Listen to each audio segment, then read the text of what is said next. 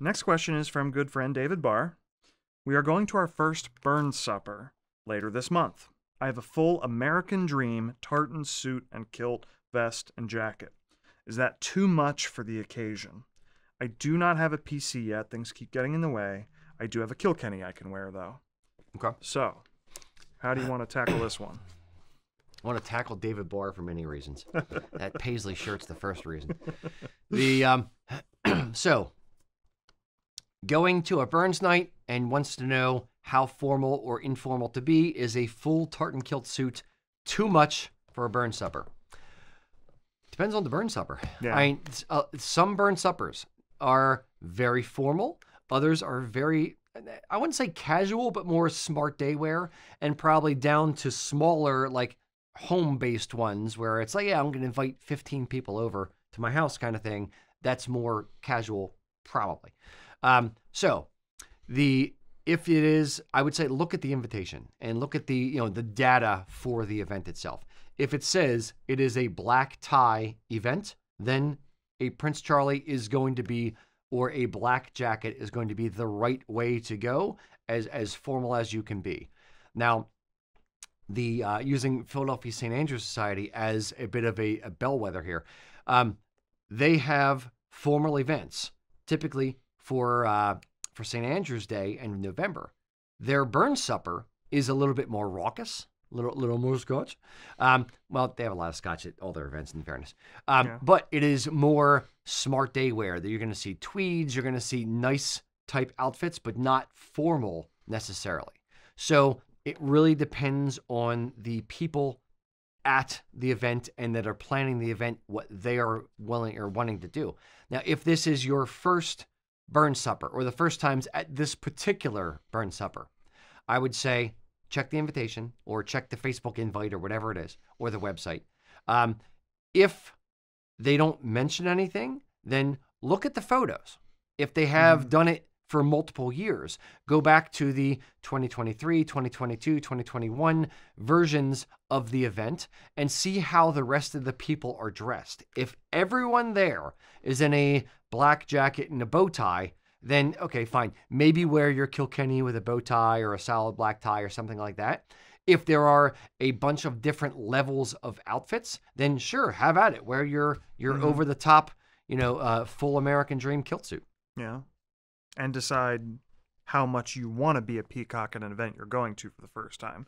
I guess it depends how well you know the people. Even if you're not maybe maybe you know these people and you haven't been to their event before, um, are they open to that level of individuality? Peacockery. peacockery, if you will.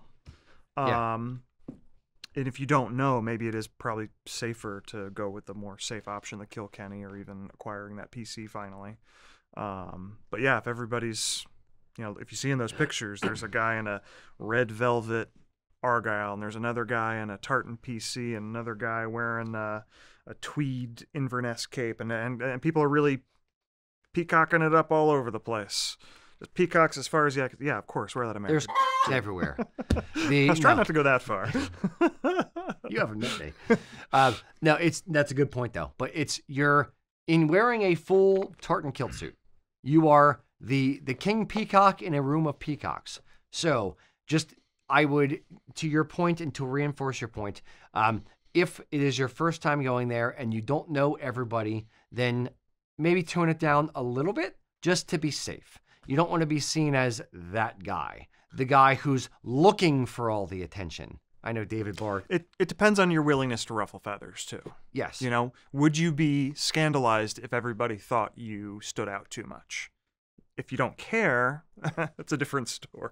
If this is a group you're trying Yeah. to join, you know, maybe go a little more conservative. Yeah, I would I would potentially Yeah. go a little more conservative the first Yeah. time, and then once you get to know some people, and Yeah. it's or if there's a lot of guys in some over the top outfits, then yes. Yeah. Um, but it's I'll I'll draw a bit of a parallel in in what I tell people is uh, what I tell people is if you're going to a wedding and or to an event and there's going to be dozens of guys in kilts and you know you know everybody there and you're an outgoing you know out there type personality you know loud and proud then sure wear the full tartan kilt suit.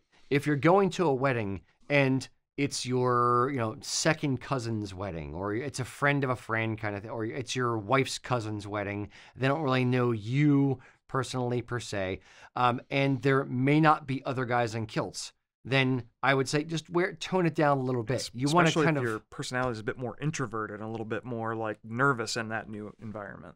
Yeah. Where you're going to draw attention to that. yeah so well if in fairness if your if your personality is more introverted you probably wouldn't wear a full tartan kilt suit anyway yeah. um, Unless you're the type of person trying to substitute your, your personality with clothing. fair Which I don't think David is. So what he's saying, David, is you have no personality at all. You are the milk toastiest white dude that we've ever met.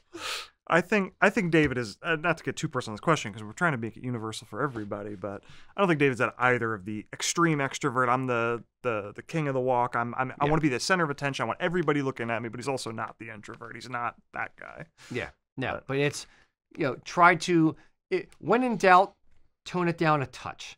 Yeah. If you know what you're doing, you've worn it a dozen times, and you know everyone involved in the pro, in the in the event, and you know the personalities that are in the room, and you and they're loud as well. Sure, have at it. And if after if after all that advice you're still on the fence, you're not quite what sure, sure not quite sure what to do about this event, I would say were you invited by an individual? Like is it a friend of yours who's like, "Hey, come on out to our Burns night." Check in with them. Like quiz them, find out where where this specific event lands on the spectrum of all these different possibilities we've we've created and, and kind of narrow down whether you know what, what makes most sense for you. Agreed. Cheers. But long story short, Burns nights can mean a lot of different things to a lot of different people.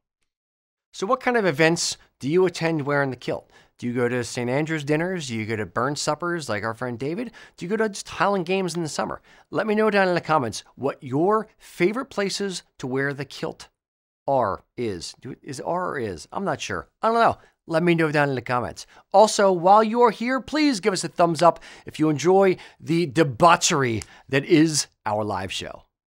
It's not a live show, our recorded videos. Thanks.